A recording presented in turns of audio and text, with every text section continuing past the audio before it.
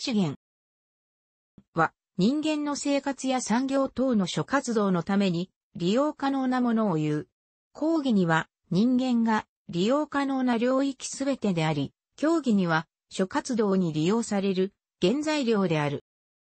各種天然資源や観光資源のような物的資源と人的資源とがある。さらに、経済上投入可能な資源として、経済的資源という区分もある。人間の活動に利用可能なものが資源とされるため、何が資源と認識されるかはその時代や社会によって異なり、これまでは単なるゴミなどとされていたものでも、技術の発達に伴い資源とされたり、逆にこれまで利用され、資源と認識されたものでも、社会の変化とともに資源でなくなったりする。自然を構成し、利用可能な資源を天然資源という。天然資源は地球誕生以来存在し、膨大な量になるが決して無尽蔵ではなく、さらに容易に採掘利用可能なものは限られている。産業革命以降、人類はあらゆる資源を絞り取って活用することで産業を成り立たせてきたが、その資源も近い将来枯渇すると言われている。今後、海底資源や未開発地の資源の捜索など、多大な困難が伴い経済的に非効率な開発が必要となることも予測される。このため、捨てればゴミ、分ければ資源といったキャッチフレーズがすように、資源の再生利用を積極的に進めようとする動きがある。また、各種の資源は人間の生活や産業などにとって必要不可欠であるものの、それらは地球上に均等に存在するのではなく、ある地域に偏在しており、水や石油、希少金属などの限られた資源をめぐって、戦争、紛争が起こった例も多い。以下、天然資源の種類とそれを取り巻く問題などを紹介する。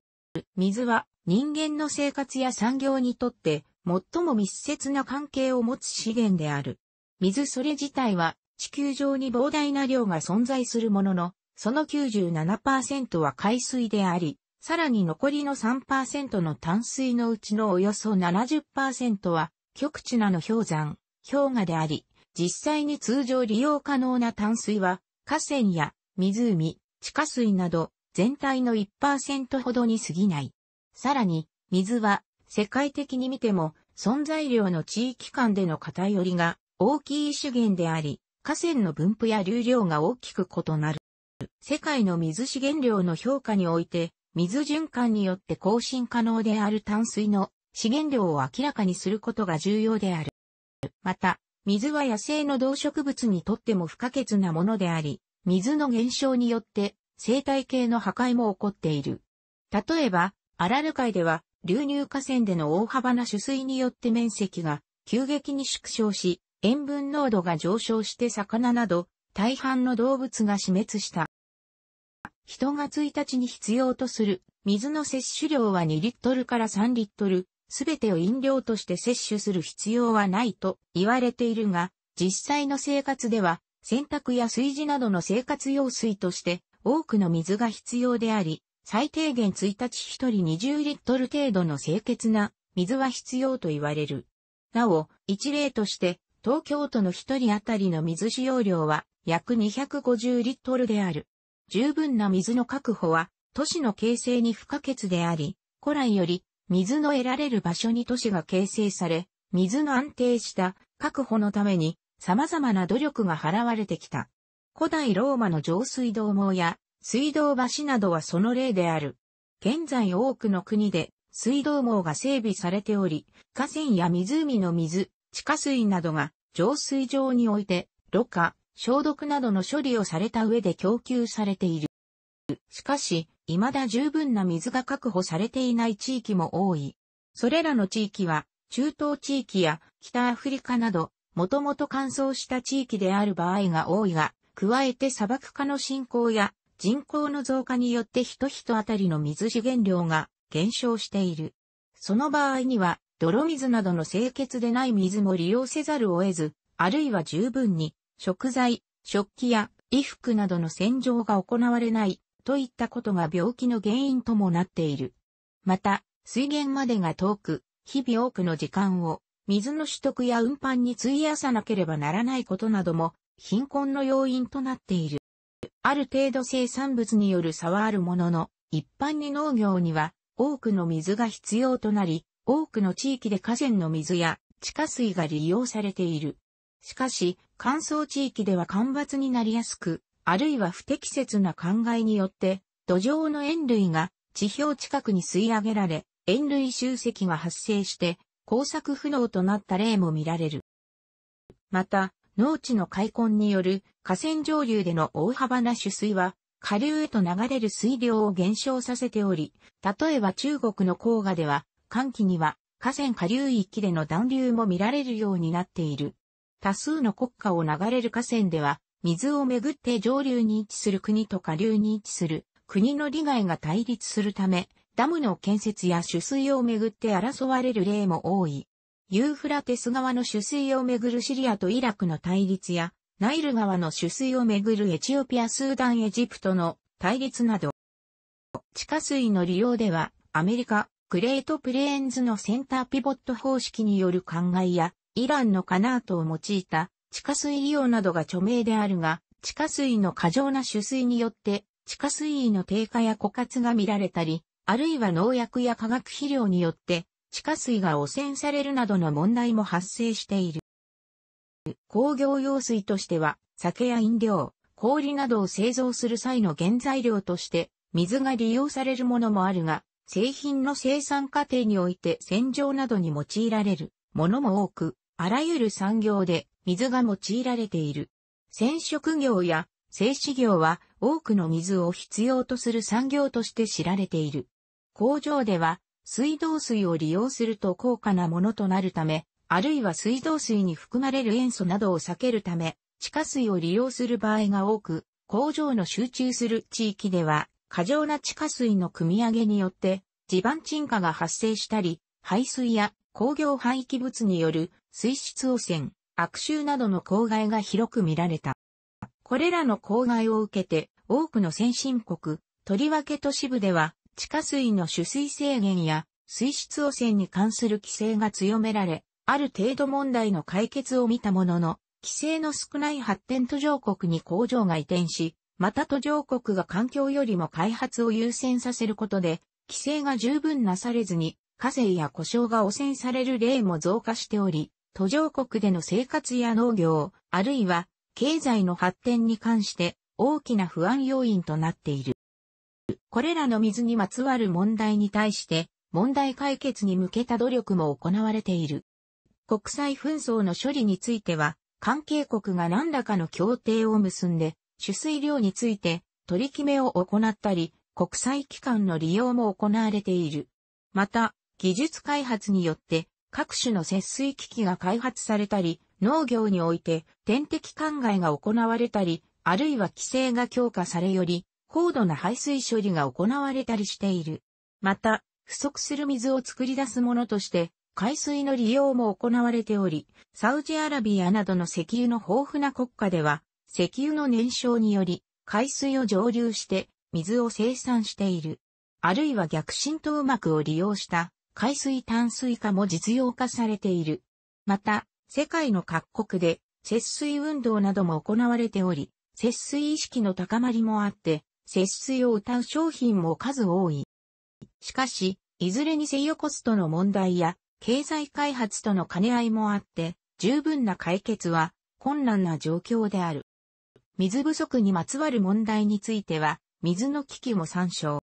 鉱物資源は、鉄、銅、防気サイトウラン鉱、石油、石炭などの有効利用が可能な鉱物である。世界各地に鉱脈があり、様々な手法で採掘されている。地下資源とも言う。産出量が少ないが有用な鉱物資源は、レアメタルと呼ばれている。石油、石炭、天然ガス等は化石燃料とも呼ばれている。また、鉄や銅、アルミニウムなどの大量に生産、消費される基礎となる金属はベースメタルと呼ばれ、金や銀などは貴金属、ニッケルやクロムなどはレアメタルと呼ばれる。鉄、アルミニウムなどの金属のほとんどは広く近くに存在しており、ある意味ではどこにでもあると言える。例えば金を海水から抽出することも不可能ではない。しかし現在の技術では一般的な岩石や海水から資源を回収するコストは大きすぎ、経済的に成立しない。そこで、その資源が集まっている交渉を掘り、鉱石を精錬することで必要な金属を得ている。交渉の形成には、水や大気、地殻変動などが関係している。例えば現在の主要な鉄鋼床は、雨などによって岩石中の鉄分が海へと流され、光合成によって生成された酸素と海水中の鉄分とが結合し、酸化鉄となって海底に沈殿したものが地上に現れたものと考えられている。その他、熱水交渉、海底熱水交渉なども参照。そのため、例えば、それらのない月面で多様な金属資源を得ることは困難である。ただしどこまで経済性を考慮するかにもよる。化石燃料はその名の示すように生物の遺骸であり、石炭は植物の、石油はプランクトン類の遺骸が長い年月の中で、土圧や地熱の影響を受け編成されたものと考えられている。ただし石油については、異論も存在する。液体である石油の方が石炭よりも運搬などで有利であり、また体積あたりの発熱量も大きく、多くの先進国では石油をエネルギー源とすることが主流となったが、原油価格の上昇もあって、石炭の利用も見直されており、とりわけ石炭産出国では、現在も重要なエネルギー源である。また、石炭の方が二酸化炭素放出量は大きいものの、確認火災埋蔵量などを見ると、石油よりも石炭の方が埋蔵量が多く、かつ世界各地に分布しており、その点ではより安定したエネルギー源であると言える。燃料としての利用のほか、合成樹脂などの生産にも用いられる。ダイヤモンドやコランダム、サファイア、ルビーなどは宝石としてのみならず、その高度から工業用途に研磨剤などとしても利用される。その他、エメラルドやアクアマリン、水晶、トルコ石、翡翠など、希少で美しいものは高い価値を有するものとして古くから装飾品などに用いられてきた。アレキサンドライトやタンザナイトなどは比較的最近発見されたものである。採掘ではダイヤモンドなど機械を用いた大規模な採掘も行われる一方で人力による採掘が行われている地域も存在する。その他、石灰石や石英、輪鉱石など様々なものがセメント、ガラス、半導体、シリコン、肥料など様々なものの生産に利用されている。資源を採掘するにあたっては、その採掘が経済的に見て成立するかどうかが非常に重要な問題である。その交渉が鉱山として成立するかどうかは、得られる資源の価格と採掘にかかるコスト、すなわち鉱脈のある場所や、そこから得られる鉱石に、どの程度資源が含まれているか、などの要因からなる。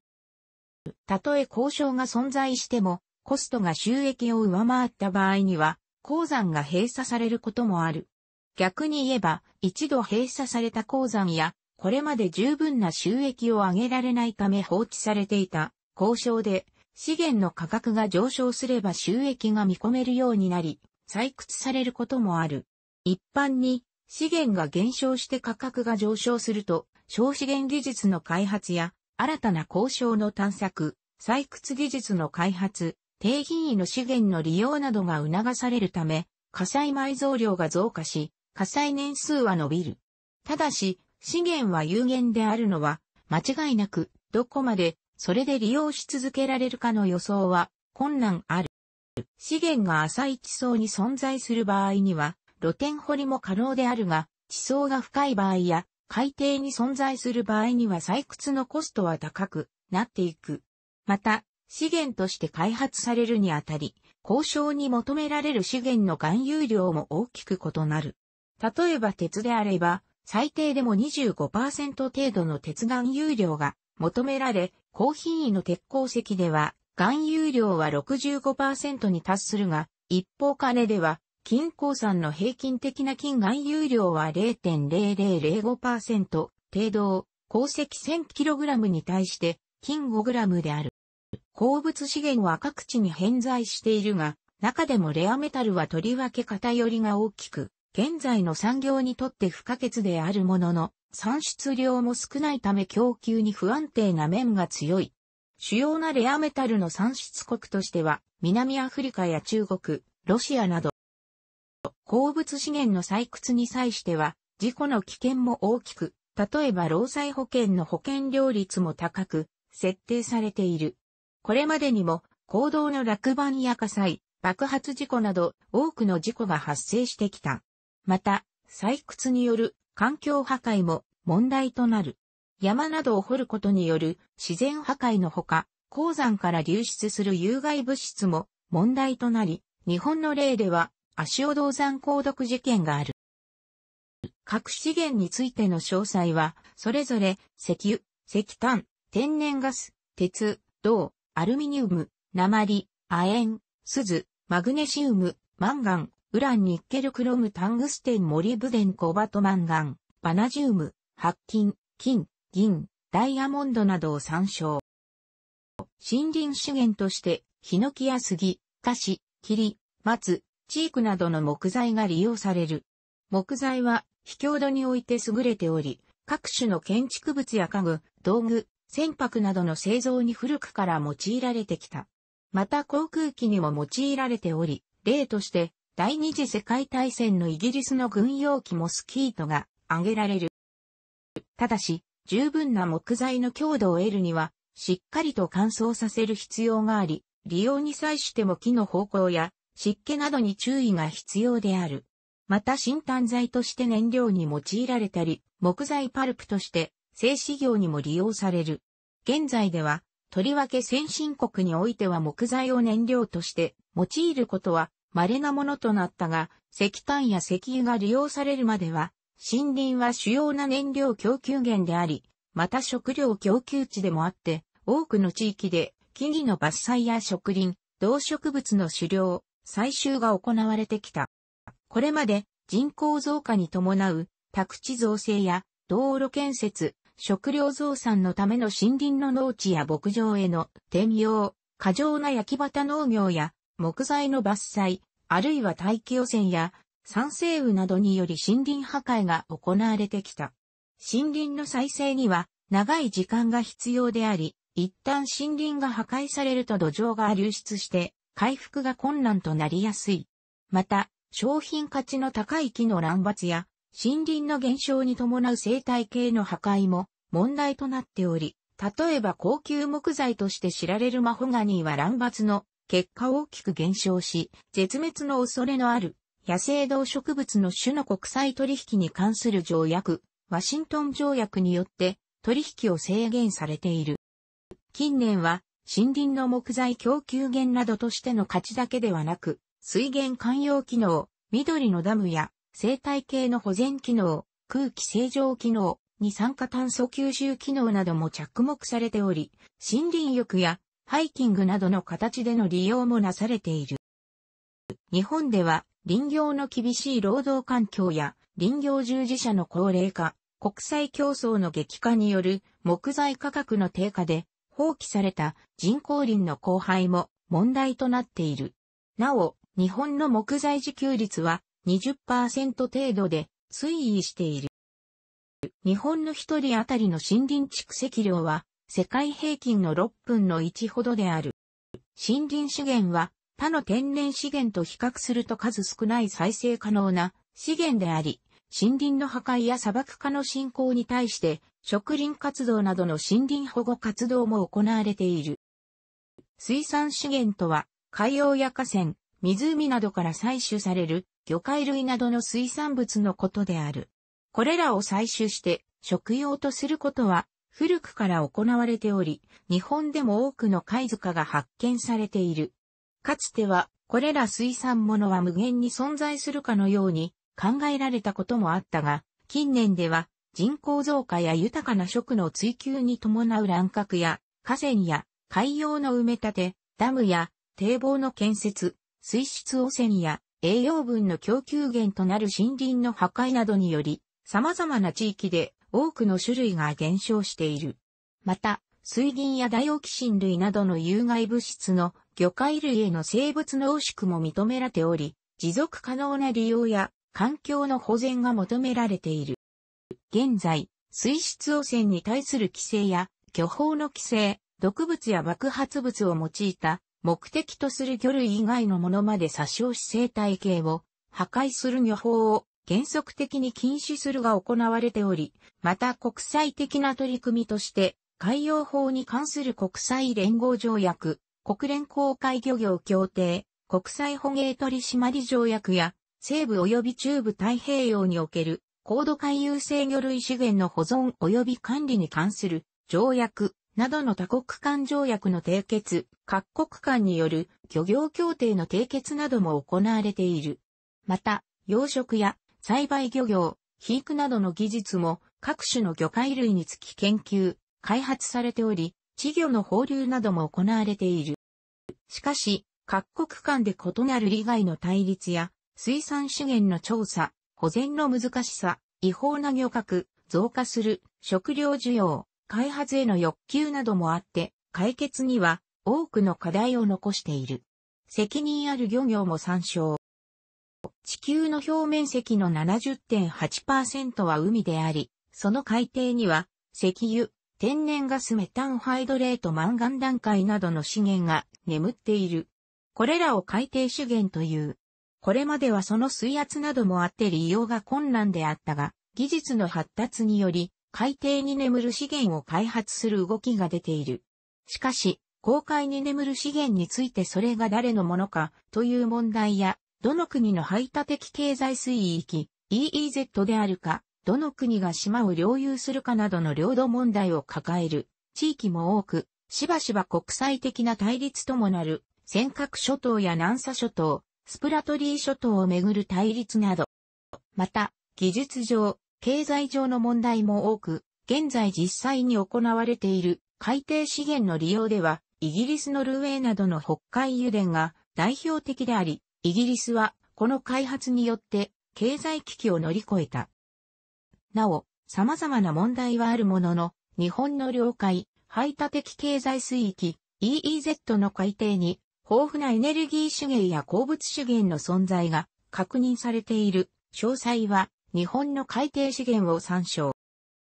海洋資源といった場合、海洋に生息する水産資源や海底資源も含むが、その他にも海洋に生息する生物の生態が理解されるのに伴い、海洋生物の分泌する物質が医薬品などに応用できる場合あると判明し、研究も進められている。遺伝資源とは、遺伝子の有用性が広く認められることで、遺伝情報が一種の資源として考えられるようになったもの。遺伝子資源とも呼ばれる。これまでにも有用な品種の選別や品種を掛け合わせて、品種改良をすることは行われてきたことであるが、遺伝子工学の発展により、人工的に遺伝子の組み換えを行うことができるようになると、遺伝子情報の価値がより認識されるようになった。様々な生物の遺伝子はそれ独自の機能を持つものも多く、医療や医薬品の生産、農作物の品種改良などに利用されている。どの生物も有用な遺伝子を持っている可能性があり、また一度失われると完全に復元することはできない。しかしながら、環境破壊などで絶滅する動植物も存在し、また同じ種であっても、地域の個体群によって特有の遺伝子を持つ場合もあり、その場合には、ある地域の個体が絶滅すれば、遺伝資源が失われることとなる。このような例としては、メダカなども参照。遺伝子汚染を防止し、遺伝的多様性を維持することが求められている。生物の多様性に関する条約では、遺伝資源の利用から生ずる利益の公正かつ公平な配分が一つの目的となっているが、遺伝情報を解析し特許などとして知的所有権を強化しようという先進国と自国の遺伝資源に対する権利を主張する途上国との利害対立があり、また実際の遺伝情報の利用には倫理的な問題も存在する。観光資源とは、保養や遊覧を目的とした観光旅行の対象となり得る歴史的、文化的遺産や自然、娯楽施設などのこと。これらを持つ地域は観光地と呼ばれる。具体的には、城や砦、宮殿、神社、寺院、教会、墓、庭園、山、森林、川、滝、海、砂漠、美術館、博物館、動物園、テーマパーク、温泉、ビル、あるいは都市それ自体の景観など、非常に多岐に足り、世界各地に存在している。地域の伝統芸能や祭りなども一種の観光資源と言える。経済が発達し余暇活動が重視されるに従い、観光業が発達して、世界各地で観光地開発がなされたが、観光客の増加による環境破壊や地域の住環境の悪化、文化の変容など、弊害も存在する。電波の使用が増加したことにより、割り当てが可能な周波数が枯渇しつつあるため、利用可能な周波数を資源の一つとして考えることがある。労働力や技術力、創造性など人間の持つ生産能力を資源に含めて人的資源と呼ばれる。人的資源は人口や教育水準、専門技術者の数など様々な要素に着目して研究される。高度な技術、能力を持つ者というような意味では人材とも言われる。人的資源はあらゆる活動に必要とされるものであるが、他の資源と同様有限であり、資源の配分をめぐって競合することも多い。経済や文化、技術の発展には人的資源が必要不可欠であり、また基本的には教育や学習、経験などによってその価値を高めることができる。そのため、多くの国では義務教育を設定し、国立、公立の大学の開設や奨学金制度の設定、図書館の設置など様々な学習支援が行われている。しかし、教育コストや教育を受ける間の生活費などの経済的問題が完全に解決されているわけではなく、加えて想像力や独創性などは教えることが難しい。さらに、教育や学習の効果はそれを受ける者の意欲にも大きく左右されるものである。例えば、社会が硬直的、閉鎖的であったり、腐敗した、独裁政権下であったりすると、教育を受けたところでそれを活かすことができず、学習意欲の低下や頭脳の国外への流出を招く。このように人的資源の育成は容易なものではなく、各国において大きな課題とされている。物的資源や人的資源を含む講義の経済上における生産資源である。労働力、土地、原材料、時間などがそれにあたる。財、価値、資本などの言葉も使われる。社会的資源、文化資本、人的資本、社会関係資本などの用語もある。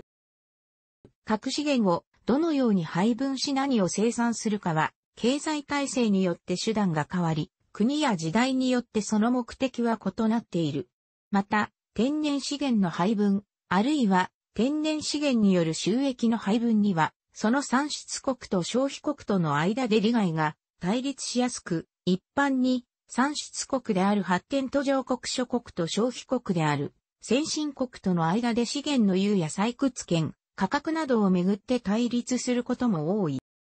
植民地支配以来の資源メジャー、すなわち油田や鉱山の採掘権や生産設備等を持ち市場を支配する多国籍企業に対して1970年代には資源ナショナリズムが高揚し、多くの国で油田や鉱山の国有化が行われた。しかしその後、商品先物市場の設置や新興資源国の増加、代替エネルギーの開発、内部での利害対立などで、OPEC、OAPEC などの旧来の資源輸出国機構は価格への影響力を低下させた。資源配分の手段、資源配分の目的、楽しくご覧になりましたら、購読と良いです。クリックしてください。